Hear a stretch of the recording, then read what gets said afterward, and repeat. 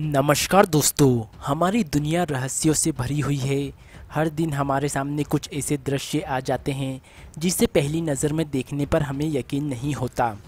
बता दें कि यूँ तो पृथ्वी पर ज्वालामुखी बहुत है, लेकिन क्या आपने कभी ऐसे वोल्केनो के बारे में सुना है, जो नीले रंग का लावा उगलता है?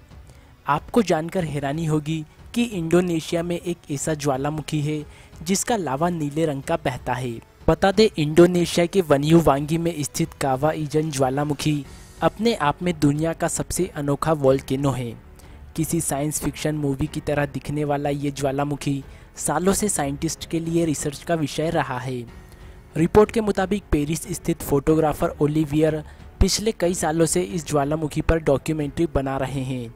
उन्होंने बताया कि ज्वालामुखी से निकलती हुई नीली रोशनी लावा नहीं है वास्तव में ये सल्फ्यूरिक गैसों के जलने से उत्पन्न होने वाली रोशनी है, जो वायुमंडल में ऑक्सीजन के संपर्क में आते ही नीली आग की तरह दिखाई देता है।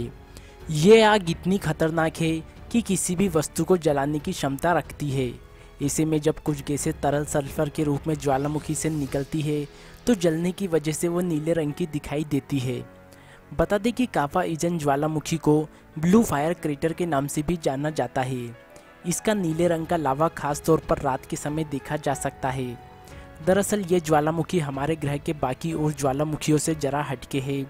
यही वजह है कि लोग दूर दूर से इसे देखने आते हैं और अब ये पर्यटक स्थल भी बन गया है।